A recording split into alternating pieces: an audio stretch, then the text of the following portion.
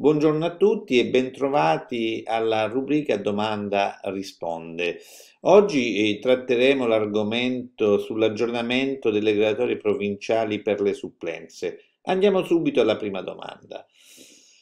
L'aspirante supplente delle GPS cosa deve fare per entrare in graduatoria ed ambire ai posti per eh, riservisti?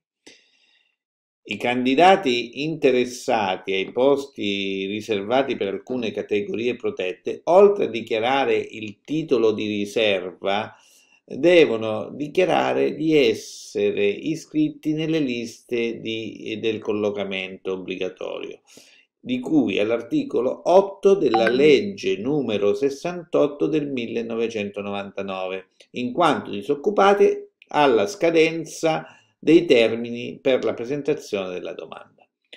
Coloro che non possono produrre tale certificazione di disoccupazione perché occupati a tempo determinato, con contratto a tempo determinato, alla data di scadenza della domanda indicheranno la data e la procedura in cui hanno presentato in precedenza la certificazione richiesta. Qual è l'organo competente a cui fare ricorso per quanto riguarda i punteggi e le posizioni delle gradatorie provinciali per le supplenze e per i punteggi delle gradatorie d'istituto.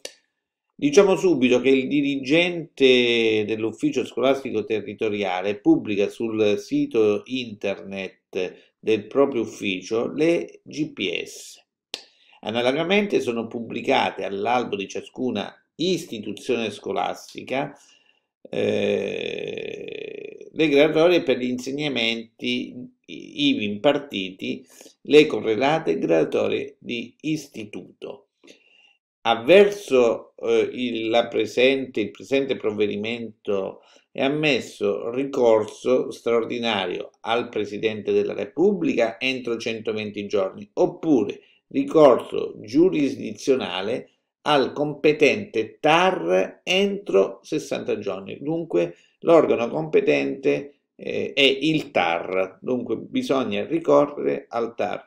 Ricordiamo che eh, queste eh, gradatorie non prevedono, diciamo, eh, un, eh, una eh, prima pubblicazione e poi dove si può reclamare e eventualmente una seconda pubblicazione.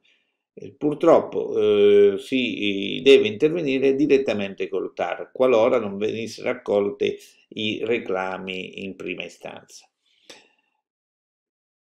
Domanda numero 3. I titoli di servizio come vengono dichiarati? Come viene valutato il servizio di insegnamento della religione cattolica? Allora, ciascun titolo può essere dichiarato una sola volta, come o specifico o a specifico. Ricordiamo che la specifico vale metà punteggio rispetto allo specifico. A scelta dell'aspirante, chiaramente, per ciascuna GPS di inserimento e comunque per un massimo di 12 punti complessivi. Come eh, servizio specifico si intende il servizio prestato su altra classe di concorso o tipo di posto o altro grado come determinato dalle tabelle che eh, sono presenti nel decreto ministeriale.